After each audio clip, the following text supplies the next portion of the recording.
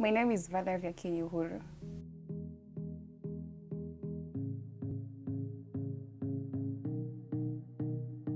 On graduation day, I was so excited because it felt like I was achieving one of my, uh, is it, one of my very big dreams. Because I, I, I always wanted to be a techie the moment I stepped into AkiraChix and just graduating and knowing that I will be graduating and getting a job and being able to support my family and uh, making their dreams come true. That was so exciting and I was so happy.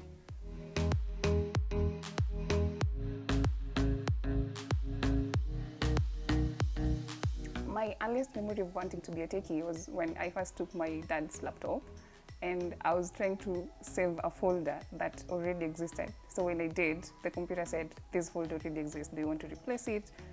And I was like, wow, so someone wrote this, that the computer can know when a file exists or not.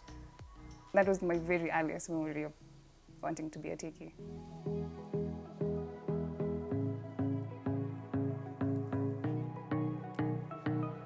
I was given a poster by my uncle. I'm not sure how he stumbled upon it because he's not a tiki.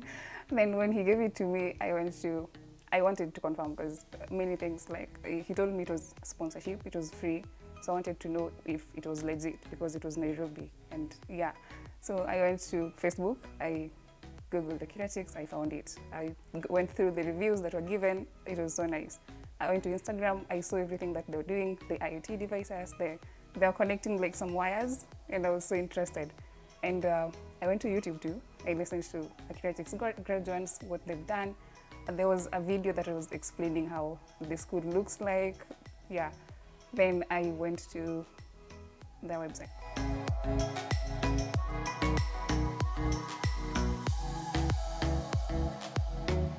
When I got the call to join AkiraChix, it was so relieving because I remember I was constantly praying every day, like literally crying because I, I really wanted this.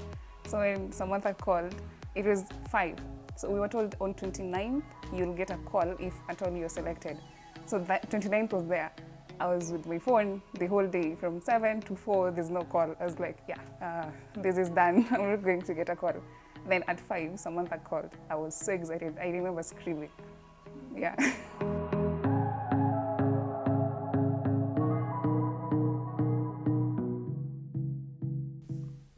codeHive Light was uh, the time that we were at home and we are now not learning uh, in class. We had to use our phones, particularly WhatsApp, to learn. And it was it was kind of difficult and exciting at the same time because now we had to code on paper, then take a screenshot and you know, take a picture and send it to your trainer. And sometimes just uh, listening to audios recorded by our trainers and videos. It was difficult because if you understand the IT world, software engineering to be precise, you can't code on paper because you have to code on an IDE and get to know where your errors are at. But then on paper, you don't really know. But I think that was a good thing for us because now we, we had a good grasp of the syntax of every programming language.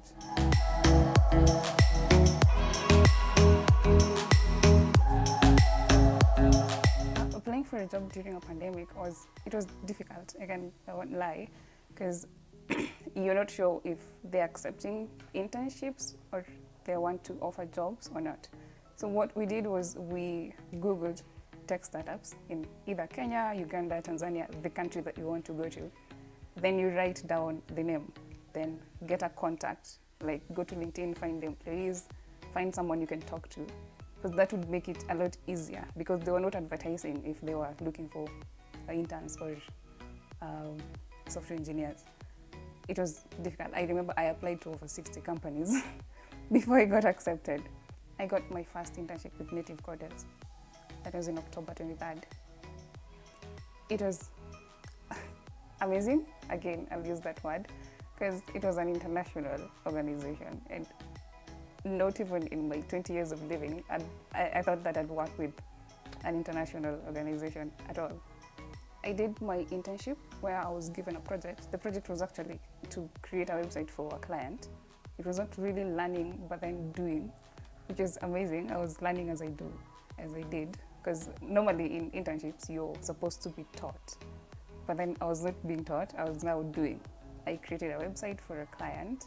And uh, after that, I remember in January, there was no work. So it was just radio silence, but then they kept checking on me, are you okay? Then in, in first February, I received a call and they said, we would love to work with you.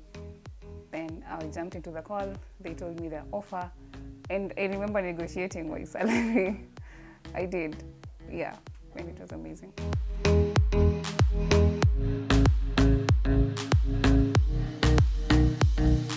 Uh, the confidence to negotiate came from school, right from navigating your journey class. We was told don't just accept something that is being offered because that is what they offer.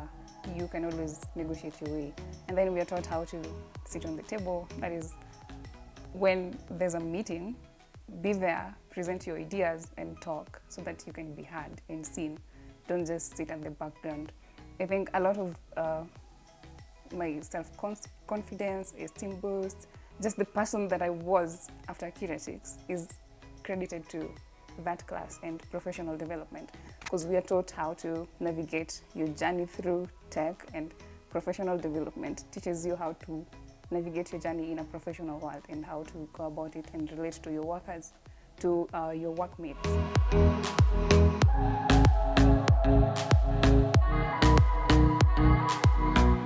want to let you know that you can do it. Tech needs someone who looks exactly like you. I know the society has, uh, has told you that a techie is someone who wears a hood and stays behind a camera and he's a man and uh, doesn't socialize. But then I want to tell you that tech needs someone like you who socializes and is pretty and uh, wants to do everything. So just do it.